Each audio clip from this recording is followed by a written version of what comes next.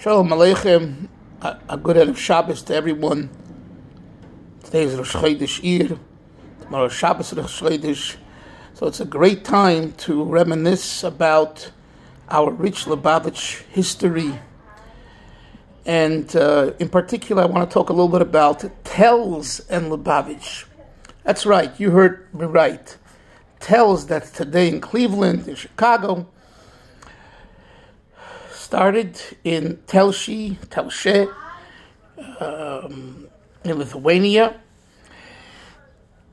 near actually a city which is mentioned in the Maimorim of the previous Rebbe called the Rakshik, Rakshiki, where Reb Shmuel Levitin was sent as a Rav there, although it was primarily a Litvish uh, haven, a Litvish, uh, Litvak uh, bastion of Lit- Litvische but the Reb Shmuel was there, and there was a group of Lubavitchers there, and uh, Reb Shmuel had his work cut out for him in many different ways. And because of that, the Telz Yeshivant in Telz was nearby, not far away. So there were there were various Lubavitcher families that sent their their children there. Reb Shmuel himself, his son Shalom Oliver Shalom, who later Nebuch died in the Holocaust, was sent there. And I remember hearing once that amongst the all the children of Shmuel, this Shalom was the gifted one. We knew of the two children in Crown Heights, um, Reb Yamin, and I forget the name of the other brother, and uh, some of the sisters. But uh, one married uh, Gorodetsky, and I think one married Kahanov. And yes, they were, um, I think one married uh, Jacobson, Yakashvili. But his son Sholem, who we know little about because Nebuchadnezzar died in the Holocaust, he was, they say, like Reb Shmuel and like uh, the Zayda Berevov, the Mashgiach and Lubavitch. Uh, he was a gifted one and a Chassidish one and all that. And then he learned in Telz. Because he learned in Telz, Reb Shmuel would come to visit him. When Reb Shmuel came, they gave him carte blanche. He could fabring, he can talk. And Reb Shmuel was a very, very smart person, a pikach. And Reb Shmuel drew the Bocherim to him. And I heard that some, some of the Mashgichim there or others of the Hanhol of the administration were a little jealous that why is it that with them, they have to kind of schlep the Bacharim to, to a Musar Shmuz. And they had good Musar in, in Telz. It was from the strong Musar yeshivas. And people attended, the Bacharim attended. But nevertheless, when Reb Shmuel came, the Chassidische Farbrengen, the warmth, the Nigunim, the clever sayings, the heartfelt feelings of a, of a Lubavitch Chassidische Farbrengen was very much part of the experience. And not only did he draw the Lubavitcher Bacharim that were in, in Telz, but he drew the Litvischer Bacharim. I read somewhere there were sometimes 60 Talmidim sitting with Reb Shmuel. And this, ha- this went on for several years because his son was there for several years.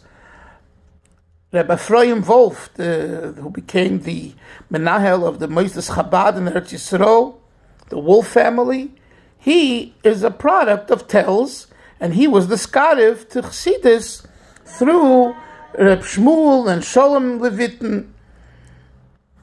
And there was another student there, Reb Chaim Shneur Zalman Gutnick, Reb Chaim Gutnick, the Rav from Melbourne, Rabbi Gutnick. He learned in Telz as well. So he told over his Ichrainis over the years that there was a regular Tanya Shiur Thursday nights in Telz. Reb Shmuel, one of the things that he he he arranged, and because they respected him so much, he was known as the Rakshik Rov. They he said he would like that they should, that the, the mashgiach, the Telz mashgiach, should give the shiur. And yes, it wasn't Bleifin Shel Chabad. He didn't have that training to give the shiur in the Chabad manner, in the Chabad style that we learn student from Mashpia.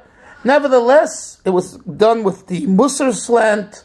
Nevertheless, Reb Shmuel wanted that someone should give the shiur regularly, and he gave the shiur. And there was a regular Tanya shiur. In general, in the 30s, and probably also earlier in the 20s, when the yeshiva was even stronger in a way with more serious bacharim, there um, was a good feeling to Lubavitch, to Chabad. And although in Telz if you didn't have a beard when you came, you were not allowed to grow a beard. That was basically the same idea in Slobodka and in other yeshivas. Nevertheless, if you came with a beard, they didn't ask you to take off your beard. So they were very respectful. And what people don't know is that this goes back to the founder, Rabbi Bloch, who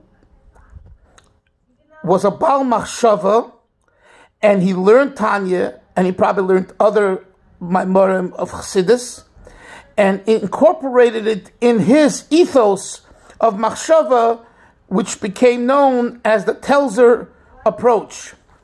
They say that in Brisk they study the what, and in Telz they study the why.